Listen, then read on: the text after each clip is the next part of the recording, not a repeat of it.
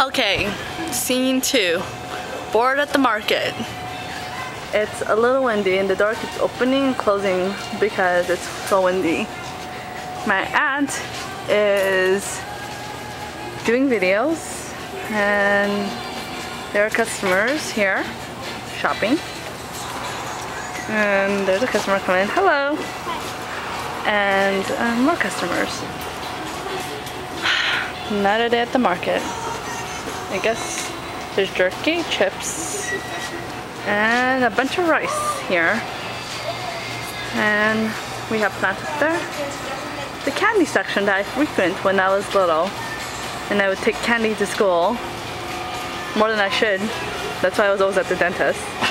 That's it. I guess to ring now. Customer here.